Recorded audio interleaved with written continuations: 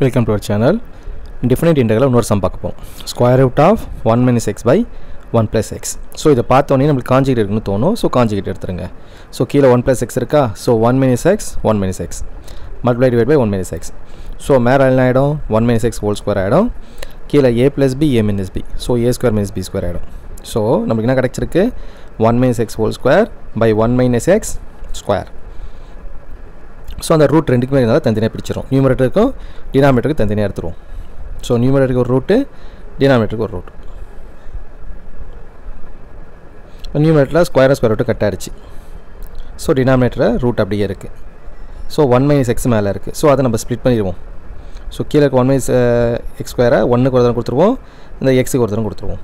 So அதை நம்ம split பண்ணிட்டோம் தனித்தனியாக இப்போ ரெண்டு வாட்டி இன்டெகிரேட் பண்ண போகிறோம் ஃபஸ்ட்டு ஐ ஒன் அடுத்து I two first I one பண்ண போகிறோம் ஸோ ஐ ஒன் என்ன இருக்குது dx by root of one minus x square so அதோட formula sine inverse x by A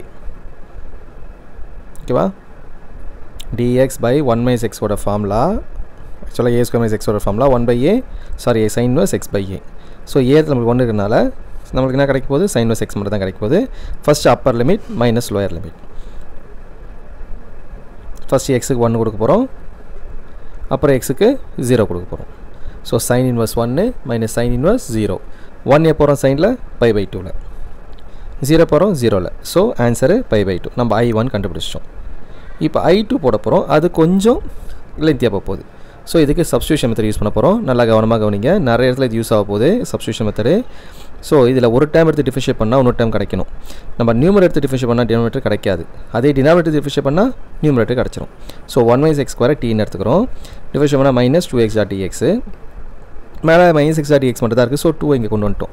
So dt by two equal to minus x dot dx எப்போல்லாம் நம்ம substitution method use பண்ணுறோமோ அப்போல்லாம் change of limits பண்ணி ஆகணும். Change அப்படின்னா ஒன்றும் கிடையாது.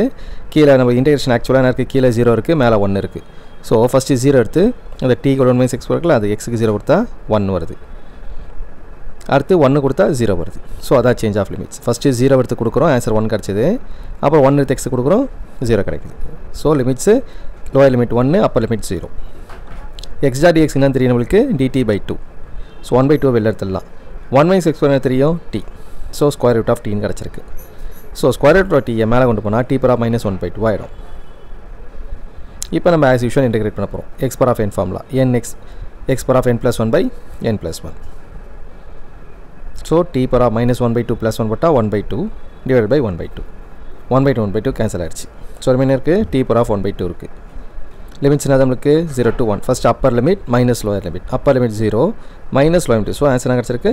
மைனஸ் ஒன் ஓகேவா இப்போ நம்ம ரெண்டு ஆன்சரை கண்டுபிடிச்சோம் எடுத்து எழுத போகிறோம் so I equal to I one plus I two I one answer என்ன கிடச்சி நம்மளுக்கு? Pi by two I two answer இருக்குது minus one so formula answer pi by two minus one